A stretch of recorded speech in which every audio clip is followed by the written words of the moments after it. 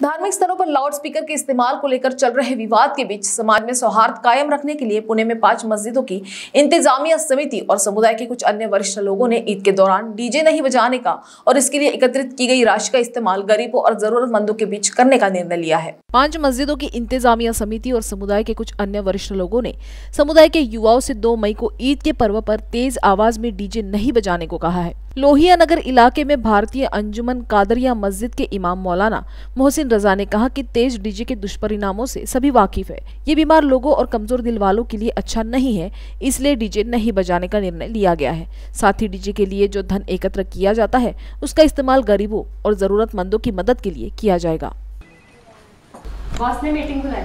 क्या यार? आदमी की तकलीफ़ को तो समझो।